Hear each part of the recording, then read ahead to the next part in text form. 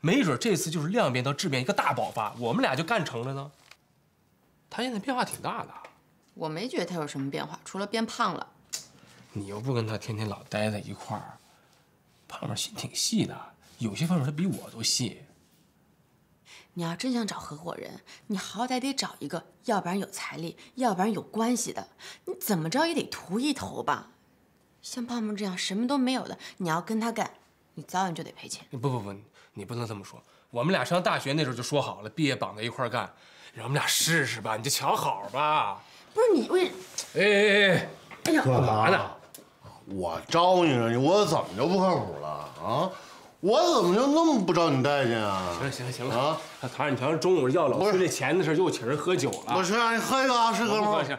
啊，你不容易啊，胖胖，功不可没你啊。行了，你喝点茶去。立朝立代，溜达溜达，缓一缓。头上见见了，别喝，喝点茶，喝点茶去啊。是不是？这胖胖也不容易，我又跟人喝了半夜。你说这活我能干吗？啊？你真要跟他一块干啊？我想试试。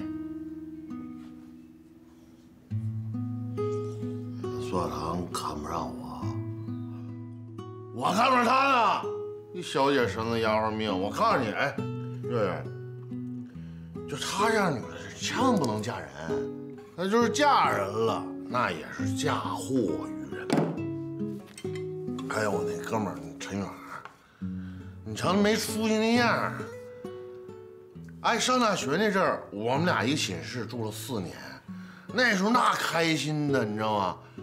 你瞧这现在跟苏小棠在一块儿，让苏小棠给管的哟，我都打心眼里我我我可可怜的，你知道吗？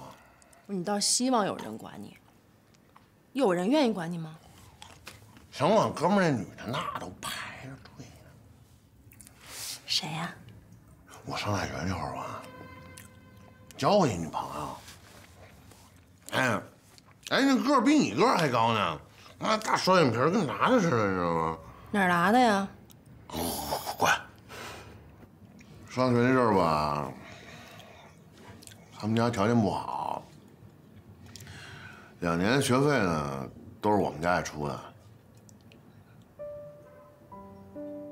后来我。我们家生意散了，他走了，跟你分手了。他又找了一别的男的，给他交学费去了。那你心里是不是特别难受？我不难受，我难受什么呀？我告诉你，这泼出去的水，哥们连盆都不要了，并且我特别感谢他。从他身上，哥们明白了一道理。你说这爷们儿吧，他必须就得有钱。等哥们将来挣着大钱了，想找什么样的女的找不着啊？是不是？啊，喝一个，喝一喝一个。一会儿吃饭的时候，你跟胖胖道个歉，别老这么说人家，多刺激。嗯，那你过去吧，我等你。啊，我等你。嗯，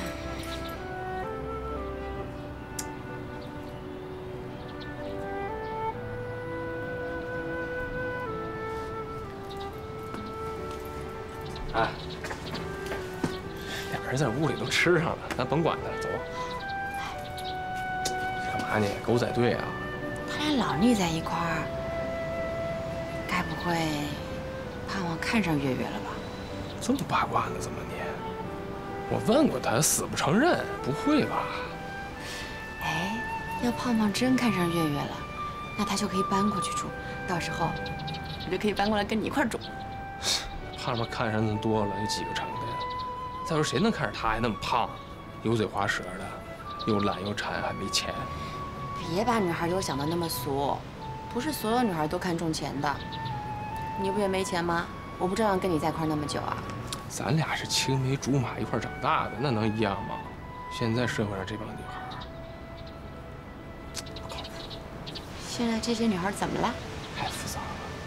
哦，你怎么知道的？快快快来来来来给我好好说说。你都怎么了解这些女孩的啊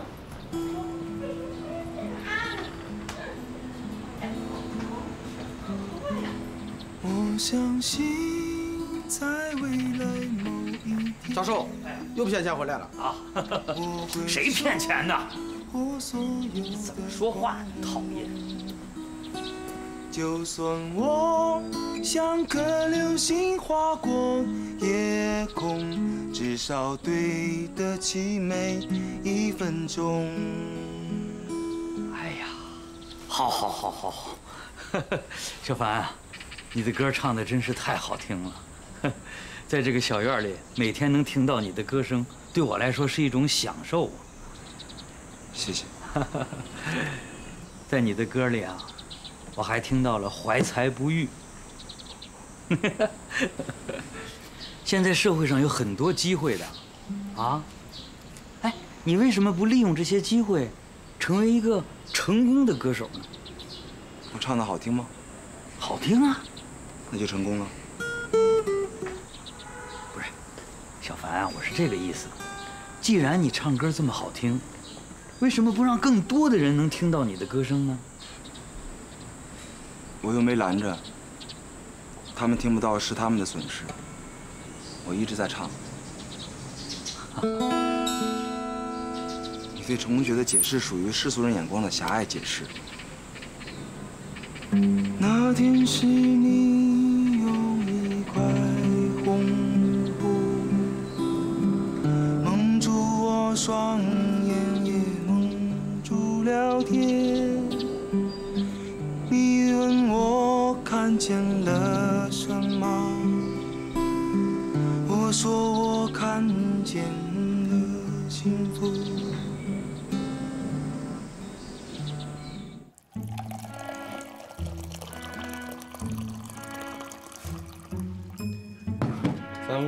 茶全给你搁里了啊，能不能醒酒就这一杯了啊？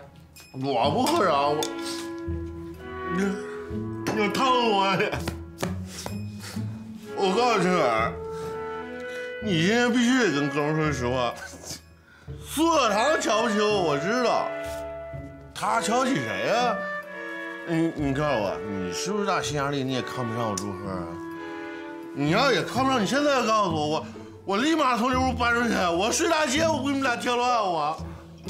今儿这事儿吧，怨我，我就不应该这么搞，这么早把咱俩创业这事告诉他。你说咱哥俩现在连干什么都没想好呢，那人小桃能不担心吗？是不是？这事儿对他来讲太突然了。你别这样啊，你小心眼儿，咱俩在一块多少年了，啊？谁不知道谁呀、我瞧不起你，我有什么资格瞧不起你啊？哎呀，行，用这句话就行。用这句话，哥们就没白教你那么多年啊！是吧？你要是好哥们儿，但我丑话说前头啊！将来咱哥俩创业，咱干大买卖，能不能少让孙小堂跟人瞎掺和呀？掺和什么呀？哎，人家想掺和都掺和不进来呀，咱俩连干什么都不知道呢。哎，明早上起来赶紧到报摊上各大报刊的报纸啊来一份儿咱必须得想出一个干什么来，必须得定下来，不能再这么晃着。你以为我天天除了睡觉就是玩呢？我我也一直琢磨这事儿呢。你说咱俩哈，大学毕业咱就开始干这销售，也没混出个人模狗样来呀。咱转转方向，呃想一想什么辙，既不用投入太多成本，又又来钱来得快的一什么路子，你知道吗？那就这样啊，趁你没醒酒，咱俩直接奔北京站，买张去你们老家葫芦岛的车票，到那儿就圈地，咱搞房地产开发。你拉倒吧你！就咱哥俩兜里这点钱呢，搁老家买个坟头都不够啊！买二斤虾爬这是还行啊。所以你这没边的梦啊，少做以后啊。再说了，咱哥俩干这么多年销售了，这经验不能白积累啊。我告诉你，现在你不管干什么，最后一个环节都避不开销售。咱往大了说，中国石油，那人家还有个加油站呢。外面那些私立医院、私人学校，你就是航空公司卖机票，他不也得销售吗？都是营销范围之内的。那你说这个要想挣钱快啊，我也赞成。哎，胖子，啊，你说咱俩要是售楼去行吗？我告诉你啊，我原来有一小姐们就干这个，人跟我说好多内幕。多问问人家呗，咱俩跟人学学。咱要干什么，咱就得往实了走，得真去学呀。咱咱学不了，卖房子真挣大钱卖好那个，那都得是长得漂亮、有几分姿色的小姑娘，而且这里边啊，还有那个别的人卖的，不仅仅是房子。你想学也行啊，你你买张机票，你奔奔那泰国。你去做一变性手术回来，你干这个靠谱？哎，饲料厂同意行啊，这打针麻药一刀。别扯那没有用的了啊！瞧瞧你，张嘴就是去泰国去整容去变性去，就你这样人小唐能瞧得起你啊？清除五零乘以五零等于二五零零，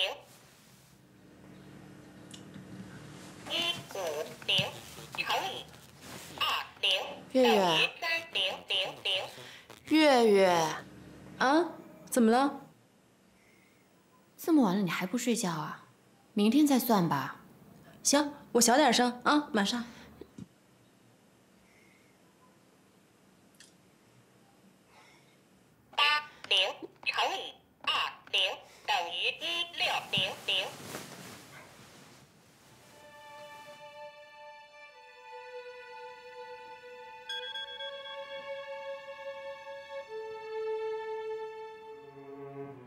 什么时候了，他还在吃瓜子，我真是要崩溃了。咱们搬出去住吧。正式的请求，我根本没法睡，明天上班又要迟到了。你睡了吗？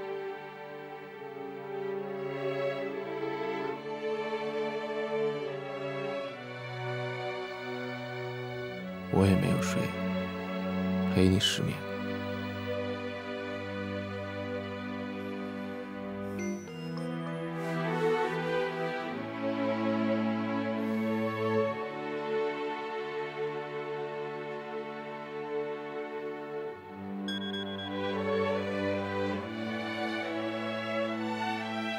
这样下去，我会疯。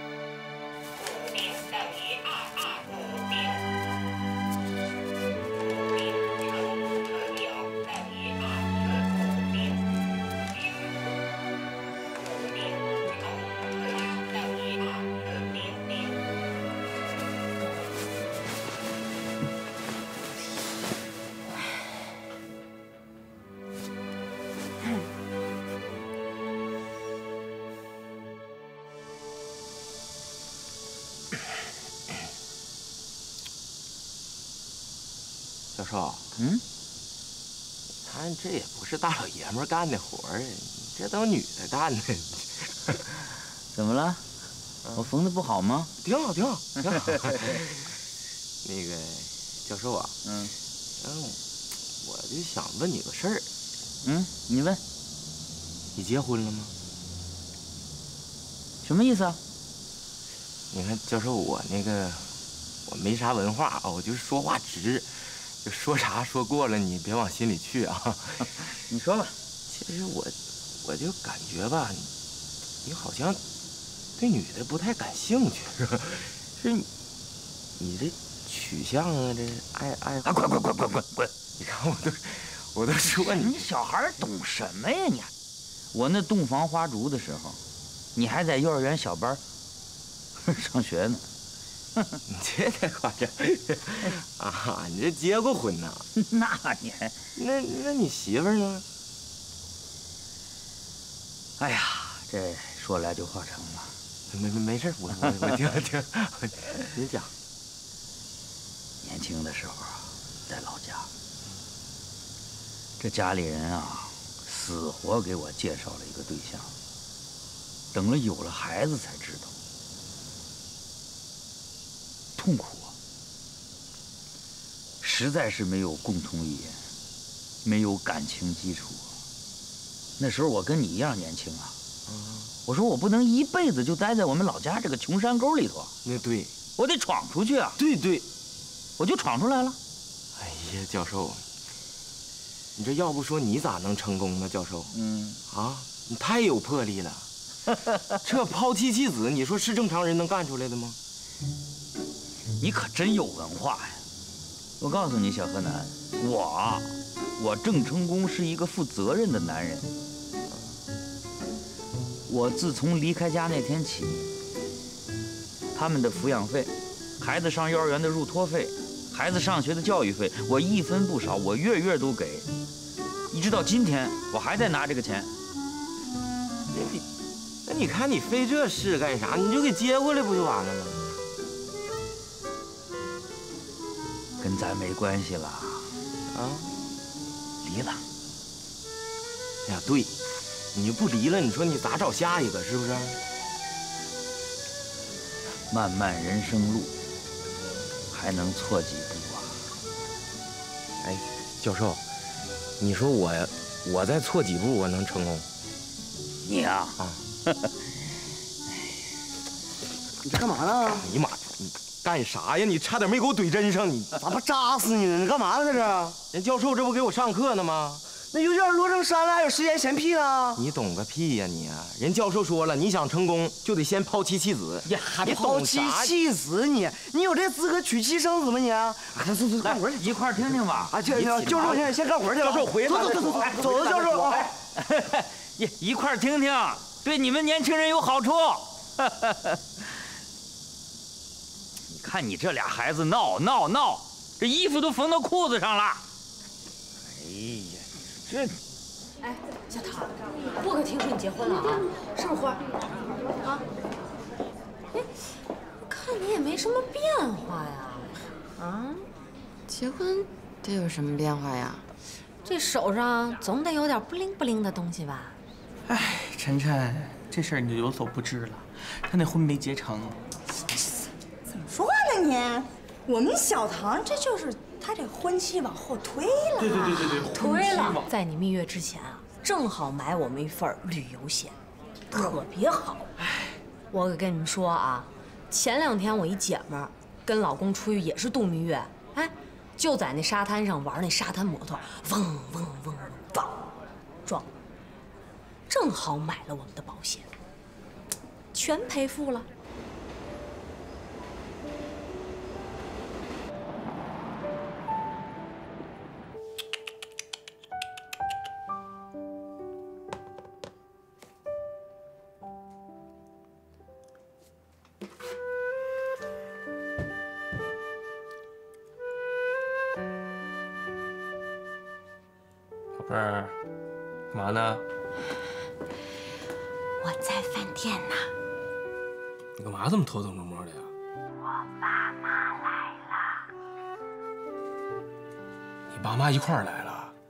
抓回去啊？看这架势也不像，他们拉着我在饭店吃饭呢。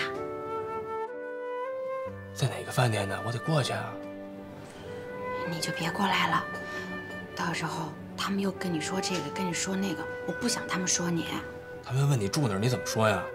咱俩现在都搬到一块儿了，我要不去，好像我躲着他们似的，那他们不更不高兴了吗？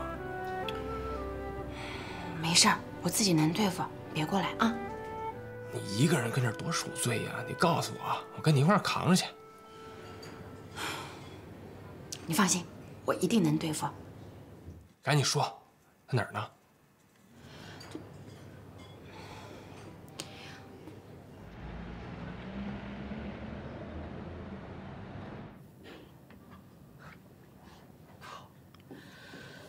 爸妈，没错，我是骗了你们，这是我不对。我没跟陈远分开，我也不会跟他分开。我只是希望你们能够尊重我的选择。哎哎哎哎，既然来了，听孩子把话说完。你为什么这么对我们呀？啊？你是不是觉得骗着我们，你心里开心呢？我们把你养这么大，你就这么报答我们，是不是？耍着我们玩儿。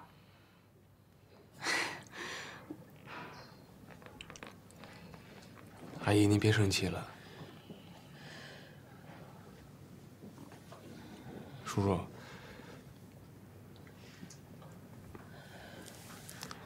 其实我现在坐在这儿，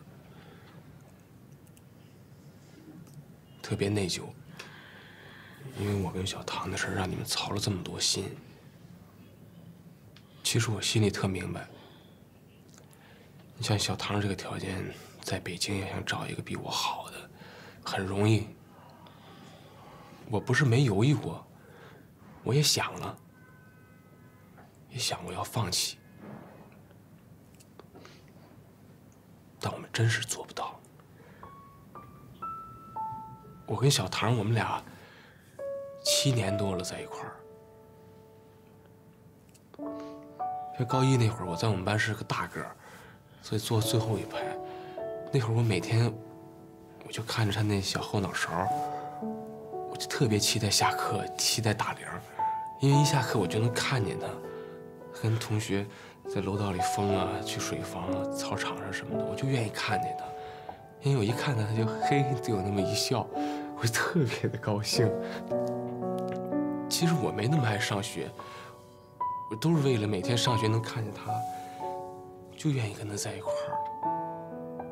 我记得忽然有一天，听师哥们说，这个有考大学的事儿，要填志愿，说有的要考到厦门啊，什么杭州，说到那儿上学。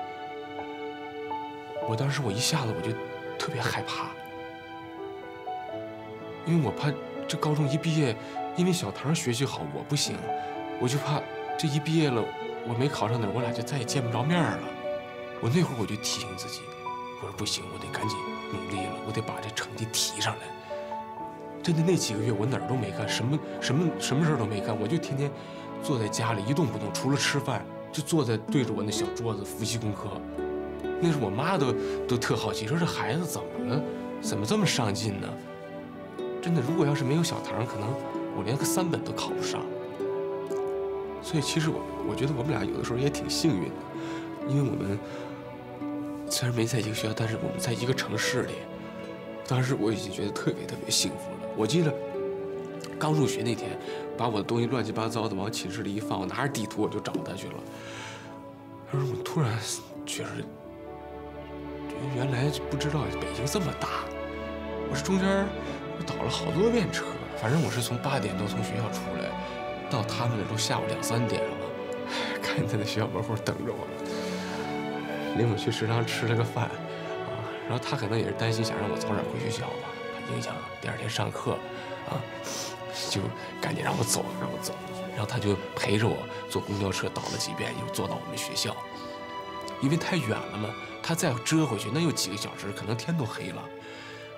我就说我陪你再坐回去呗，我就又陪他坐回他们学校。我记着他在那寝室门口跟我招手，让他一直我等着他走到寝室里。在那寝室窗户窗户边上，跟我招手，冲着我乐。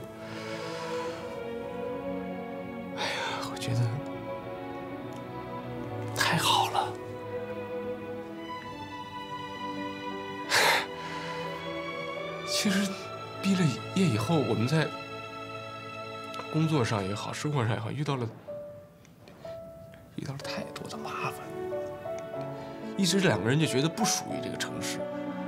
这城市好像跟我没多大关系，但是我们只要一打电话，每次我们俩不管多烦，不管有多少压力，只要一打电话，就跟充了电一样，我就特别有动力。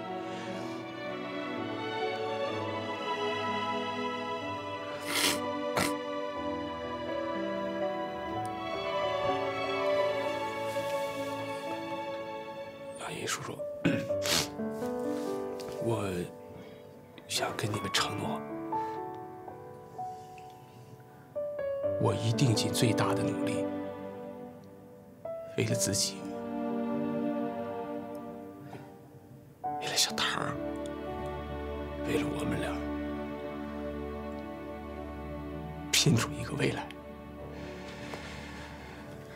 但是我太需要时间了，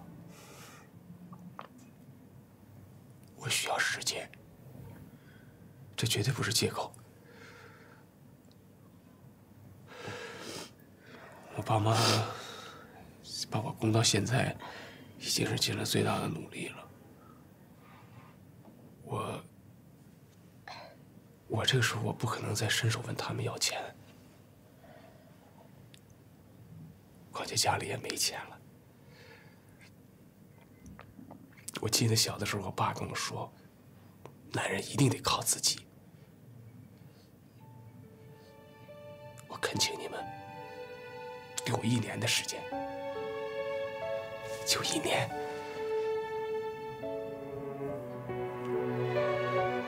我会证明给你们看的。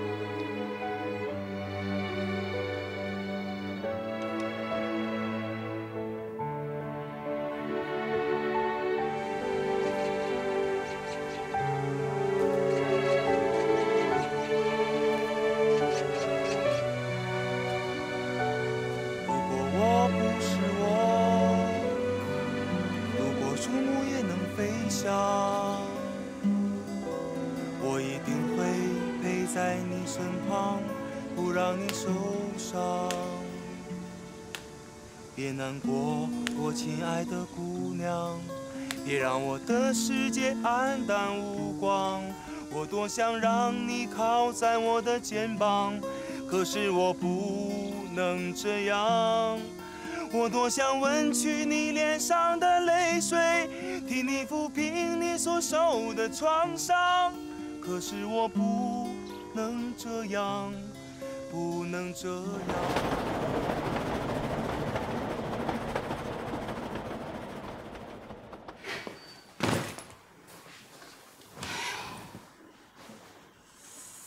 怎么怎么不舒服了？那空调车那空调开的太大对着我这脑袋这吹，我现在这脑袋都要裂开了。你进进进屋躺会儿去啊！我不躺，躺着也睡不着。那怎么办啊？我就是心里有火，你给我弄点清凉油，或者是弄点什么，哎呀薄荷糖行吗？行行行都行。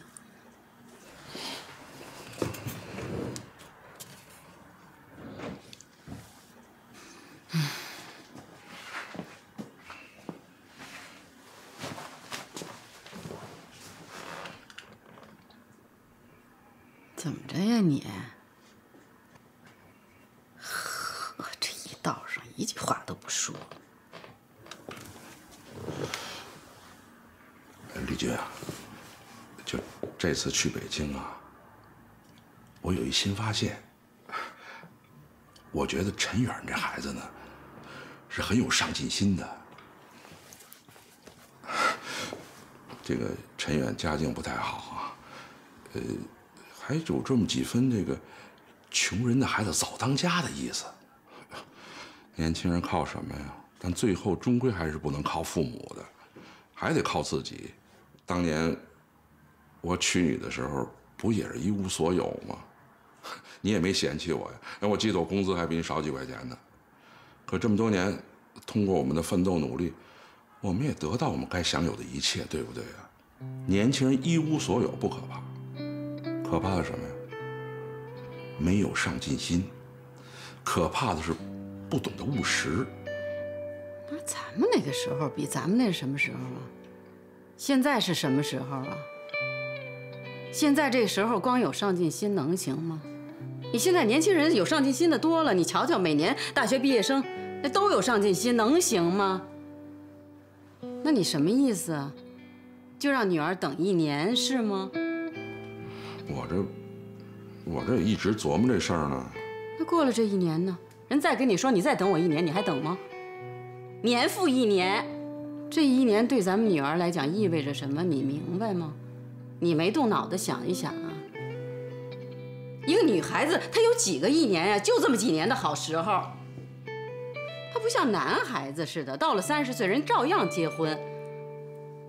到四十了，那事业有成那就更好了，那就就变成钻石王老五了。女孩子能行吗？你点头，你还当领导的呢。我发现你这人到关键的时候一点原则你都没有。我跟你说吧，你说的太有道理了，我有同感。问题的关键是，咱们拆不散人家呀。我跟你说，反正不能这么干等着，拆不散也得想办法。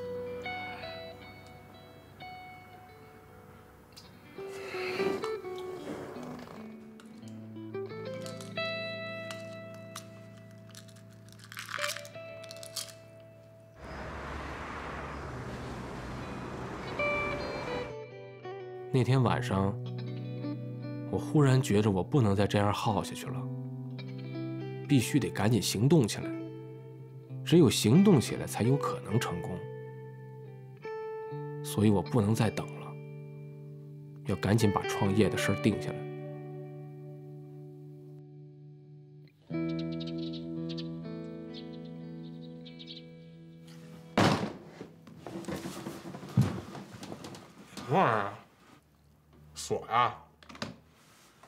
这可不是一般的锁，这叫高级智能锁。现在这五 A 级写字楼、高档小区、商业住宅用的全这玩意儿。你要给咱屋换这锁呀？咱屋这堆破烂脸不脸吧？没人这一把锁值钱呢啊！嘿，这东西挺新鲜的，你干嘛呀？搁哪儿弄的呀？这不这两天吗？哥们在屋就一直琢磨，你说咱们哥俩头一次创业，干点什么项目合适啊？哎，巧了，前两天在街上碰上我以前一哥们儿，我认识那孙子时候混那叫一惨，几年没见啊。哦，人家就做这个，人发了，现在是华北区总代理，正准备转向呢。我打算把这活儿给接来。人家这活儿干这么好，凭什么把这买卖交给你啊？要说人干大发了呢，人下一步准备去美国华尔街玩股票了。美国都置了好几栋大宅子了，准备享受生活去了。卖是锁啊？你没糊弄我啊？糊弄你这干嘛呀？卖锁卖到美国华尔街去了？那是啊。哎，元儿，我帮你算笔账啊。你说这一把锁市面卖三千多块钱，百分之五十的利润。你说现在这楼越盖越高哈，咱不说那摩天大楼，就说二十层的，一层楼住多少户人家，每户人家多少扇门，要是每扇门上都用这么一把锁。咱得挣多少钱啊？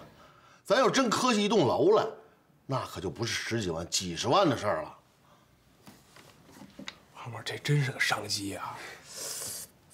但咱哥俩原来做的全是印刷领域的事儿啊，这属于，这就属于工程推销了。咱没有认识人呢，没客户，咱卖给谁呀？要说我这词特靠谱呢，客户都介绍给你了。你瞧瞧。人家说了，咱哥俩头一次干这活没什么人脉资源，那将来就等着跟人屁股后边捡钱包吧。我，元儿，咱这生意，要么就不开张，只要一开张就够吃三年的。咱腿跑前点，多磕几万来，将来那可就干大发了。哎，你琢磨什么呢？行不行？你吱个声，我哥们等我回话呢。就是他了，干吧！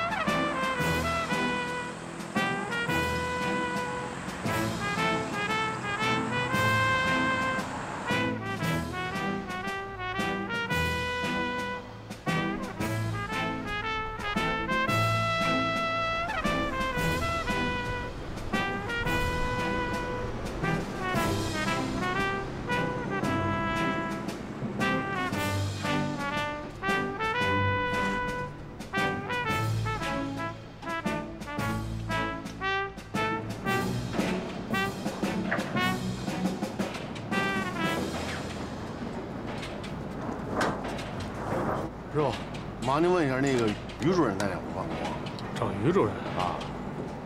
你们谁啊、我我们是他一特好的朋友介绍来的，找他办点事儿。啊？于主任最近身体不太舒服，住院了。住院了？那他什么时候能恢复上班啊？这个嘛，这是领导的事儿，我也不太清楚，不好意思啊。哎哎哎，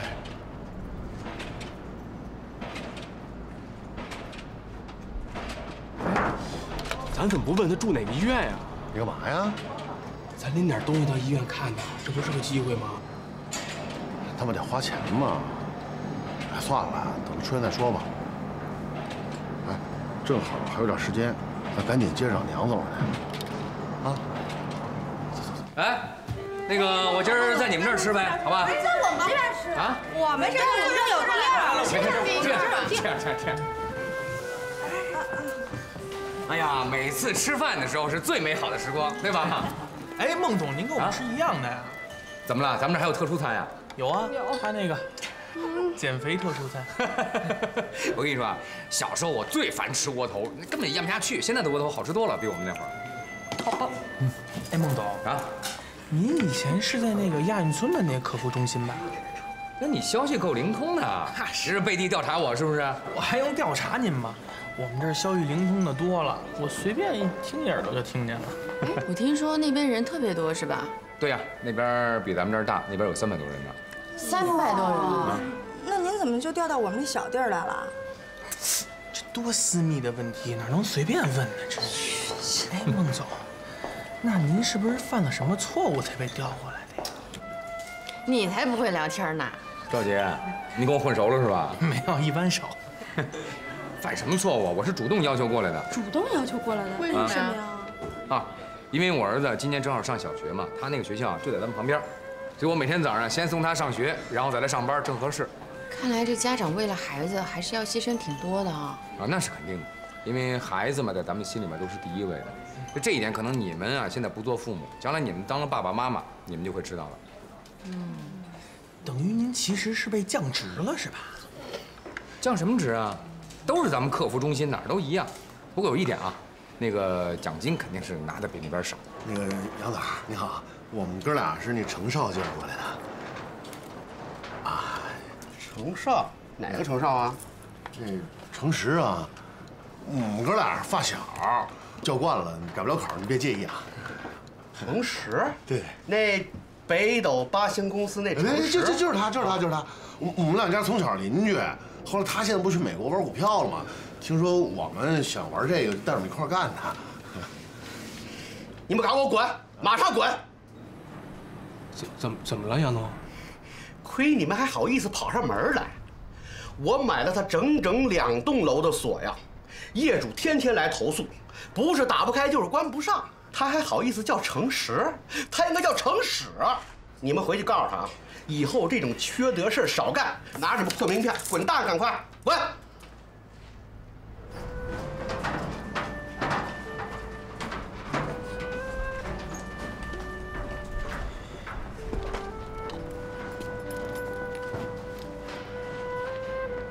程实这王八蛋，整个就一骗子嘛！啊，还告诉我你没没问题，你去吧。那我一辞，还说什么跑美国、华尔街买股票去了。呸！有这么坑哥们儿的吗？行了吧，别骂了你。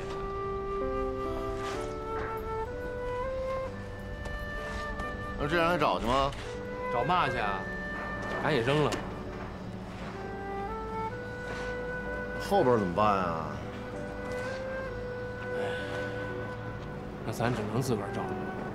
那谁也不认识，找谁上哪儿找去啊？你说去哪儿啊？工地啊。咱俩从今天开始就扫街去，哪儿有工地咱去哪儿啊！以后咱就往高看，哪儿有塔吊，哪儿有盖楼的，咱直接就进去找头，没准能成。咱哥俩一身干净啊，人看俩时尚大小伙子，同情同情咱们，保不齐是个好事儿呢。塞翁失马。